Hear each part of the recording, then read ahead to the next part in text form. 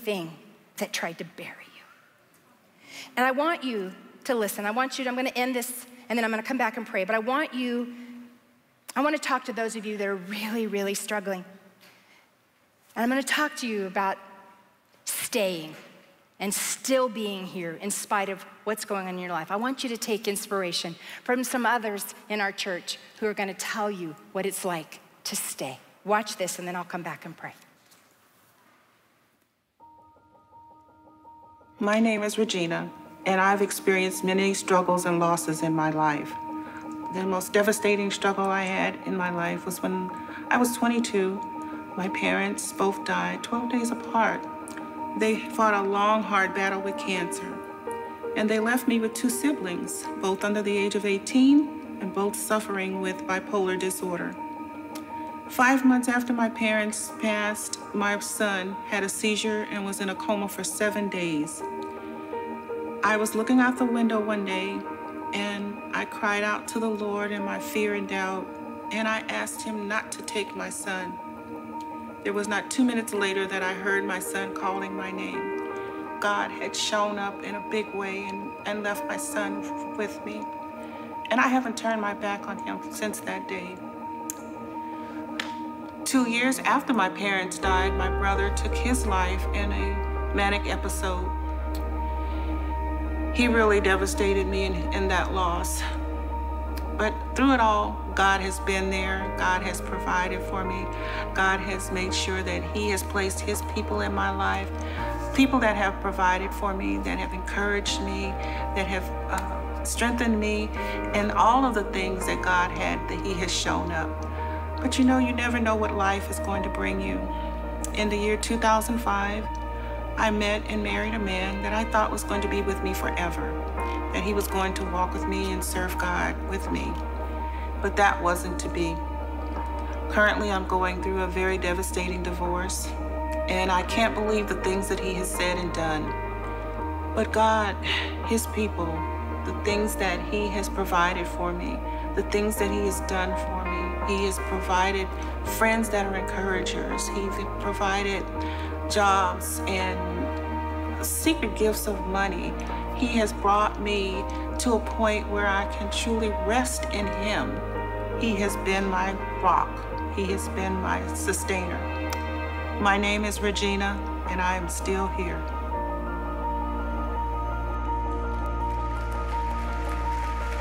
They told me I'd never get to tell my story. Too many empty holes. It would take a miracle. These voices inside my head like poison, trying to steal my hope and silencing my soul.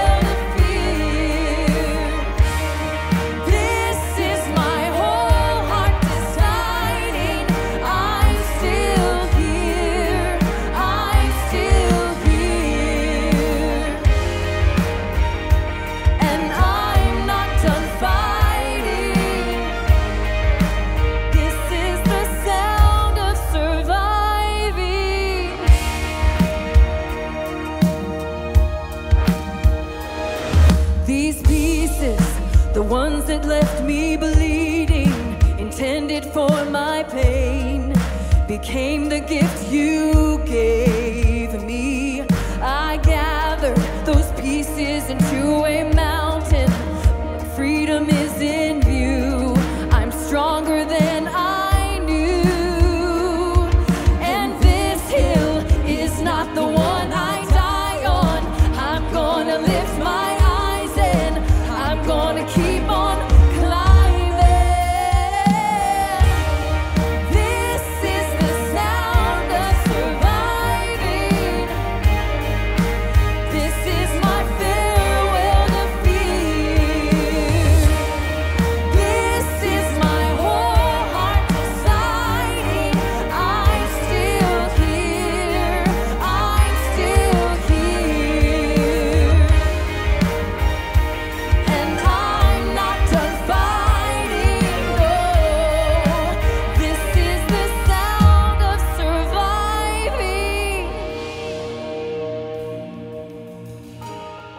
My name's Mike. Going through a divorce was the hardest thing I've ever been through, but I'm still here.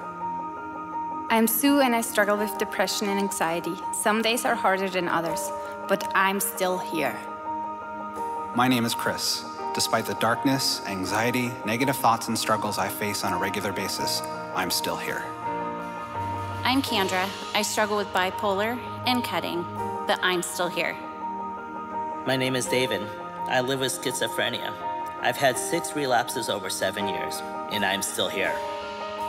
My name is Danette. I have a baby in heaven and a son with diabetes, but I am still here. My name is Jackie.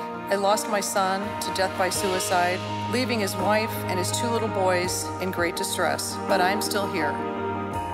My name's Katie. I've struggled with an eating disorder for the past 10 years, and I didn't think I would be standing here today, but I am still here.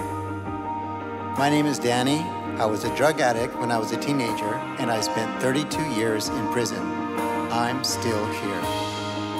My name is Danielle, and I struggle with bipolar depression and anxiety, and I am still here. I'm still here. Say it to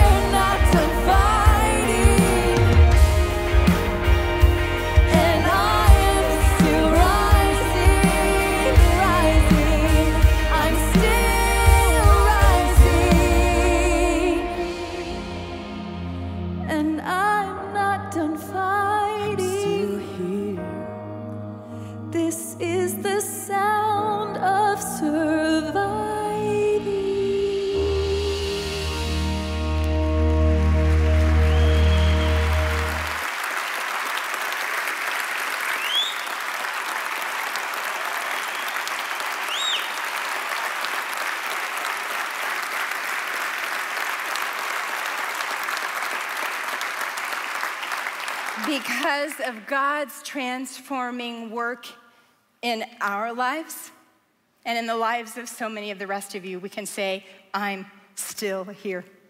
And one amazingly beautiful day, we will see our Savior face to face. And on that day, with very gentle hands,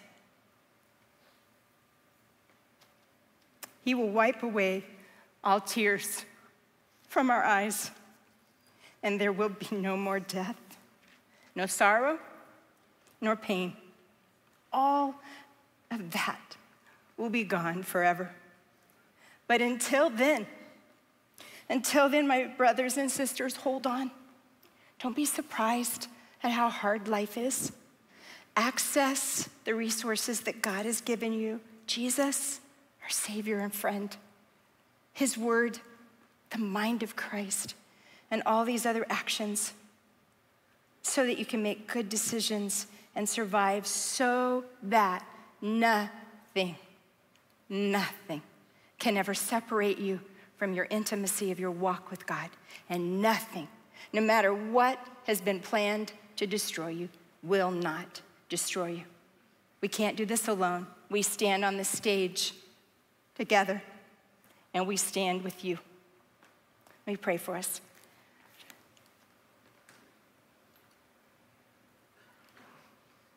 Jesus, I'm so grateful that your beautiful scars have made it possible for my scars to someday be beautiful.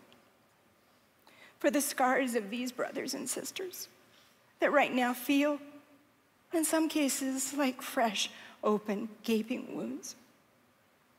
But we can trust that our scars will be made beautiful.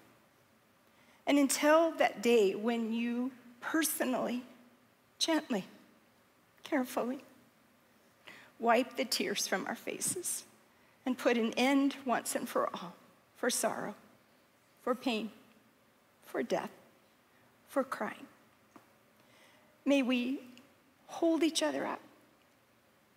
May we hold each other up. May we help each other become more resilient people so that we are overcomers and that we could fill this stage with people saying, I'm still here.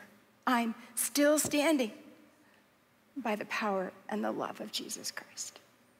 I pray this in the name of our Savior and our friend.